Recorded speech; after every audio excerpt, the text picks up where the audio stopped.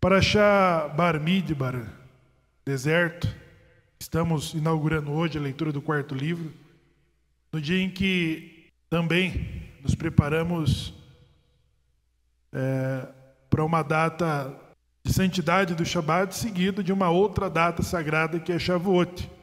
Dois feriados, duas datas sagradas em que acumulamos.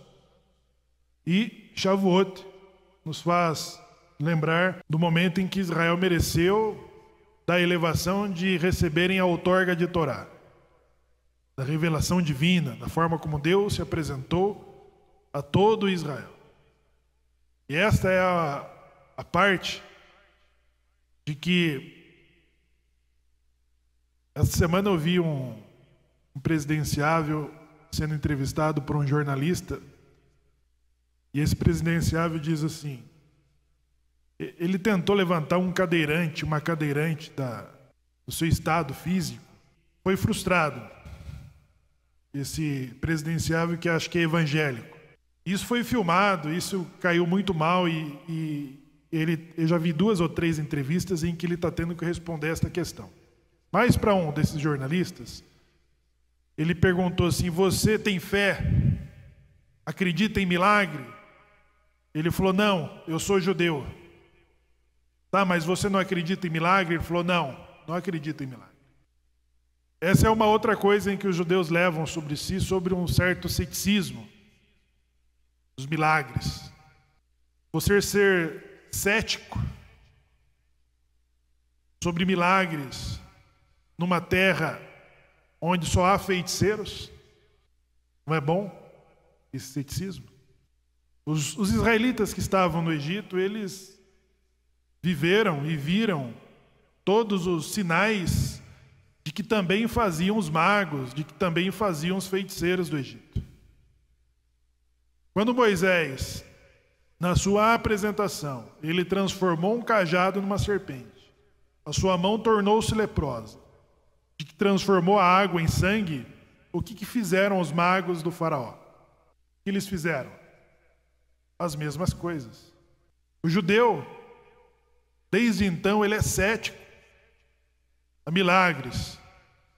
E na nossa Constituição, a Torá, em Devarim, prevê que somos suscetíveis a testes sobre profetas que fazem milagres e sinais. E Moisés não foi o primeiro a se apresentar como aquele que libertaria os hebreus escravos do Egito.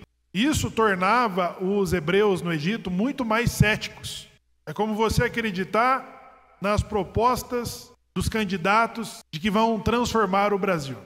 Você dá risada, né? E Moisés foi um desses. Moisés ele teve uma missão muito difícil que foi primeiro de ser convencido por Deus a aceitar essa missão.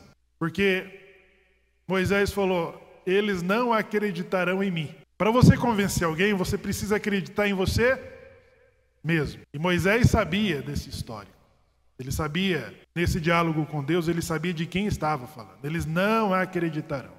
Então Deus convence a Moisés a ir e aceitar essa missão. Ele foi. Ele tinha que convencer. Depois de, depois de se convencer a si mesmo, ele tinha que convencer agora, agora a corte do faraó. E depois convencer os hebreus. Ei, pessoal, nós vamos transformar o Brasil. Vocês sairão livres, vocês terão um templo, vocês terão feriados, vocês terão uma lei, vocês terão um país